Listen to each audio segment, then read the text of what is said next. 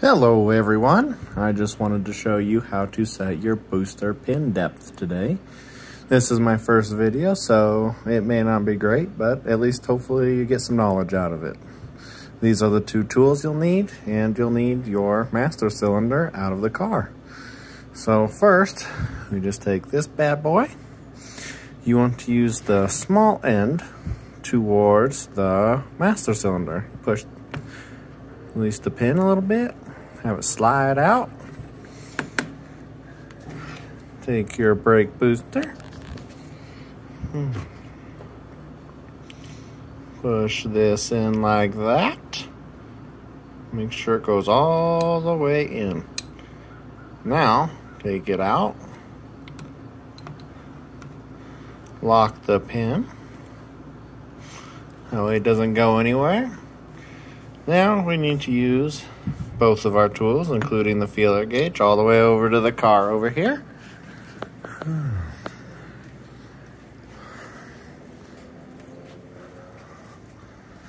So basically, you want to set this pin inside of here. And all it does is screw in and screw out. So if you turn it to the right, it'll screw in, and if you turn it to the left, it will screw out.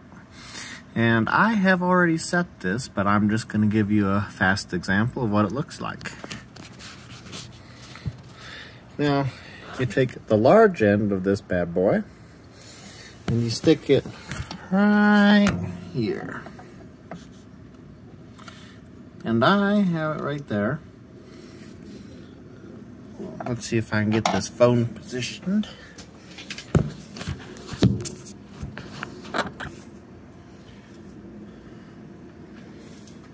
Set it right on here. Flat as you can get it. And then you take your feeler gauge and you just make sure that there is 0.02 in between this and the pin.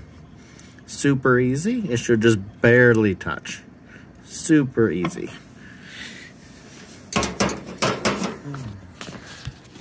Now, if you set this incorrectly where it's too far out, you can have the brakes drag. If you have it set too far in, pretty much you'll press the pedal, feel like nothing's happening, feel like nothing's happening, and then all of a sudden the brakes will start working.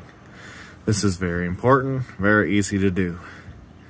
I will link um, the